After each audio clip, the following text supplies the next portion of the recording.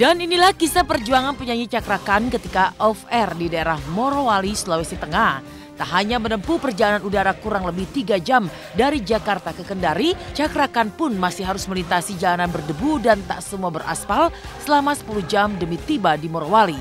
Perjalanan dengan medan yang berat dan menantang ini tentunya menjadi pengalaman unik dalam perjalanan karirnya sebagai penyanyi asuhan My Music. Maka inilah kisah perjuangan Cakrakan demi menghibur masyarakat Morowali yang telah menanti kehadirannya. Baru nyampe di Kendari dan tiga jam kerasa banget. Saya tidur nggak, oh sakit.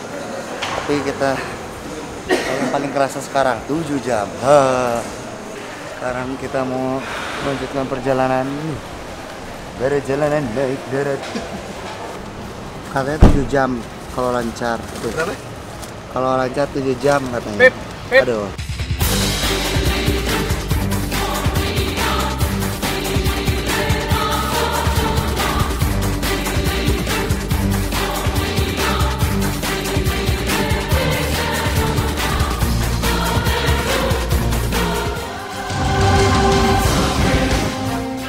perjuangan berat Cakrakan terbayar tuntas dengan teriak histeris dari lautan masyarakat Morowali ketika mengiringi langkah sang superstar menuju panggung. Disambut euforia luar biasa, Cakrakan pun menggebrak panggung dengan penampilan yang memukau. Dan satu persatu lagu khususnya lagu Kekasih Bayangan semakin menambah heboh gelaran off-air.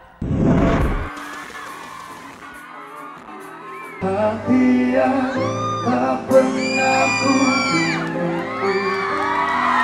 sebagai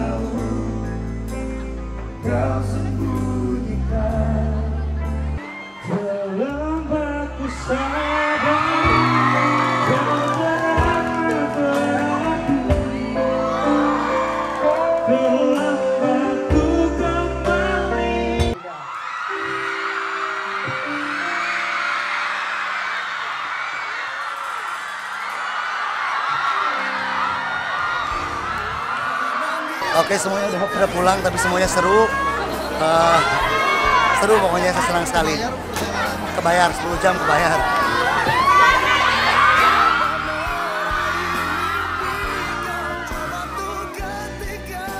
Meski Cakrakan mendapat sambutan luar biasa dari seluruh lapisan masyarakat Morowali, toh perjuangan pulang Cakrakan belum berakhir. Perjalanan pulang Cakra kembali dipenuhi tantangan. Tak mau jalur darat 10 jam, akhirnya Cakra memilih menggunakan speedboat menuju Kendari.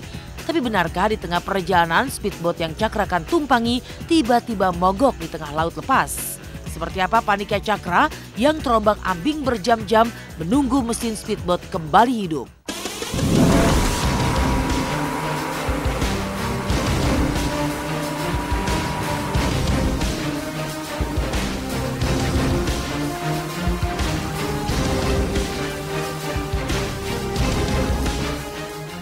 Ternyata ininya apa bootnya ada masalah jadi kita harus lebih dulu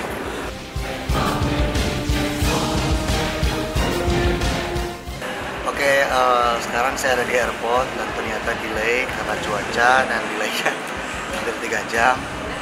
Eh, jadi memang hari ini tuh memang sangat menguras tenaga sekali. Jadi bisa dibilang perjalanan ini terasa sangat melelahkan.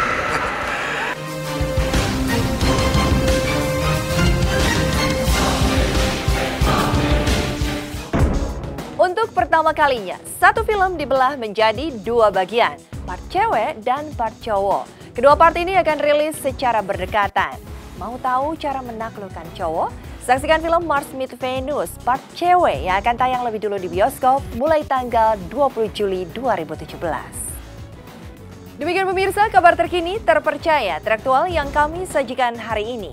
Terus saksikan Intens setiap hari Senin sampai Jumat mulai pukul 10 waktu Indonesia Barat, tentunya hanya di RCTI. Kita saksikan pertandingan yang menentukan pemain-pemain Garuda Muda menghadapi Malaysia. Baik dah, kelasnya di tackle terlambat dan